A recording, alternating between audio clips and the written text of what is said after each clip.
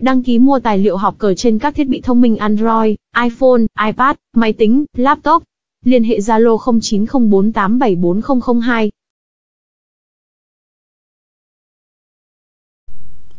Xin kính chào quý vị và các bạn yêu cờ. Trong video ngày hôm nay, kênh Học của Tướng Online sẽ gửi tới các bạn bài bình luận và phân tích nhanh về một trận đại chiến rất hay đến từ yêu đao Trình Tiền Siêu thi đấu cùng kỳ thủ Tống Quốc Cường trong giải cờ tướng Chu Hải Bôi mùa giải năm 2009. Xin kính mời các bạn cùng đón xem. Bên đỏ đi tiên thì Trình Tấn Siêu nổi tiếng với khách cuộc sở trường của ông là phần cờ chuyển vào đầu lập tức tấn công ngay. Bên đen cho phát triển mã thành bình phong. Mã 2 tiến 3. Các bạn sẽ cùng xem nhanh những biến hóa trong đầu trận.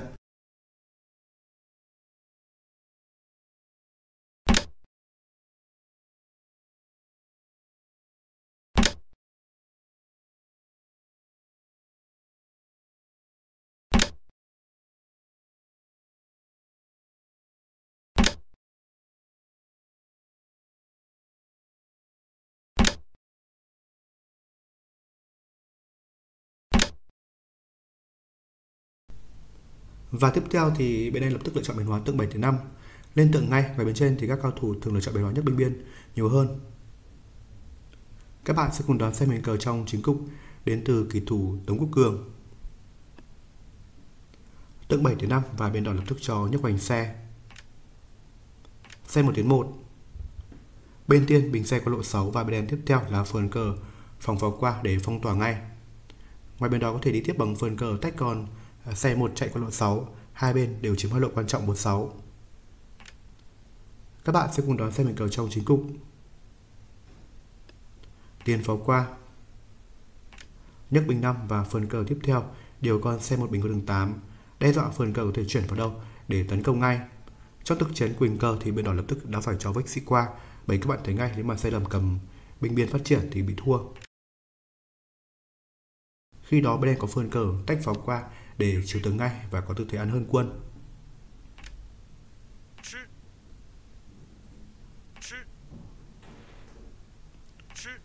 Các bạn sẽ cùng đón xem hình cờ trong thực chiến đến từ bên tiên. Sĩ 4 tiến 5 ngay.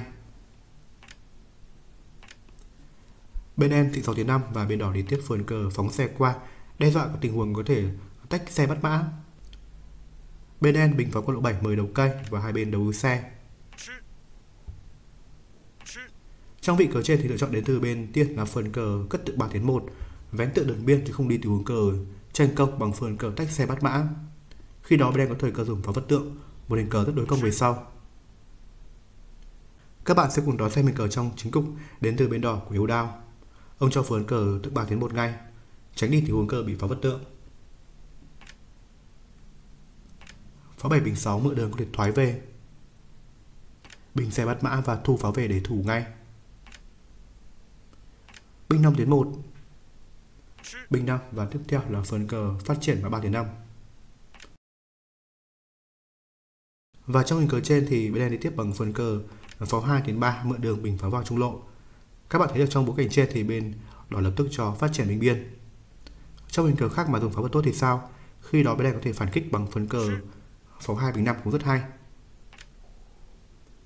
Các bạn sẽ cùng đón xem hình cờ trong thực chiến đến từ bên tiên cho nhấc binh biên ngay, bắt pháo. Pháo hai bình năm. Lượn mã qua và tiếp theo là phơn cờ đâm xe chiếu. Ép bên đỏ thoái về và thu xe về để bắt mã. Bên tiên cho mã làm tiền 6 để phòng thủ. Pháo 6 tiền 2 một hình cờ rất thú vị đến từ cả đôi bên. Và trong hình cờ trên thì bên tiên của yêu đao trình tiến siêu tức cho bật pháo qua pháo ngay để tạo ra trạng thái đấu quân. Binh 5 đến 1 Xe bắt mã và tiếp theo là phấn cờ cướp lại cây. Bằng hệ thống cờ binh 5 đến 1 để bắt lại mã. Ngoài bên trên thì bên này còn phần khác cũng rất hay là phần cờ mã 7 đến 5 Một vị trí có thể đuổi xe thông qua đó tạo áp lực về sau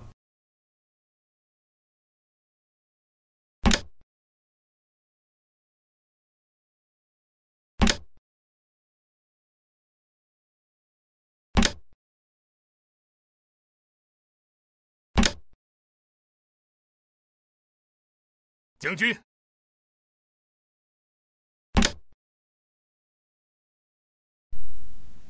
Một hình cờ mặc dù bên đỏ hơn quân, tuy nhiên các bạn thấy thế công đến từ bên đen cũng khá mạnh.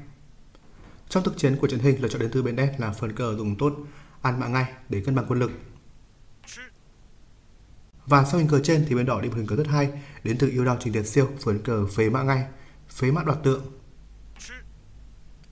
Và tiếp theo trong lựa chọn thực chiến, đến từ bên đen là phần cờ tách pháo qua để tấn công. Bởi các bạn thấy ngay, nếu mà dùng tượng 3 tiến 5 ăn mã đi thì sao? Khi đó bên đỏ có thời cơ dùng xe để chém tượng ngay. Vẫn có đó tình huống cờ tiến pháo rất cục. Tách tướng qua thì sen mã thôi. Một hình cờ mà bên đỏ sẽ có thế công mạnh khi bẻ được đối tượng của bên đen. Các bạn sẽ cùng đón xem hình cờ trong chính cục đến từ bên đen. Bình pháo chiếu tướng. Sĩ 6 tiến 5. Tách tốt chiếu. Tướng qua. Và tiếp theo là phần cờ binh 4 bình 3 để mở đường cho xe 8 chạy vào lộ 4 để tấn công. Bên tiên cho thoát mạng chiếu ngay. Ép bên đen chạy qua và phần cờ bình xe để chém mã, một hình cờ rất tranh công đến từ cả đôi bên. Tuy nhiên về sự nguy hiểm thì bên đỏ có phần mạnh hơn. Bình xe chiếu ngay. Bình pháo cản đường và tiếp theo là phần cờ binh 3 đến 1. Tuy nhiên, trong vị cờ này thì bên đỏ đi mừng cờ rất cao tiếp theo là phần cờ thoái mã về đang mượn đường xét cục bằng phần cờ xe 3 tiến 2. Trong thực chiến quỳnh cơ thì bên đen lập tức cho tượng 3 tiến 5 để phòng thủ bởi các bạn thấy được nếu mà sai lầm cầm tốt, ăn pháo thì bị thua ngay.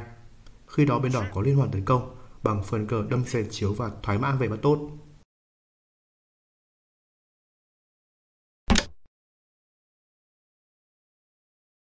Tướng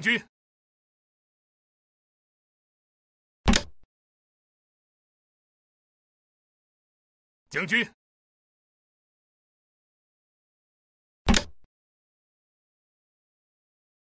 将军，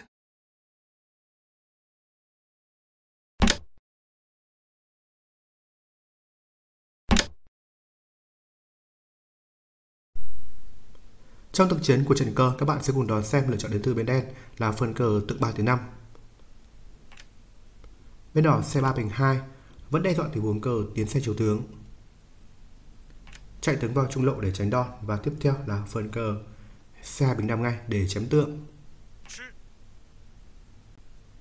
Bên đen cho tách pháo bình qua lộ 4 và bên đỏ đi tiếp phần cờ mã 1 tiến 3.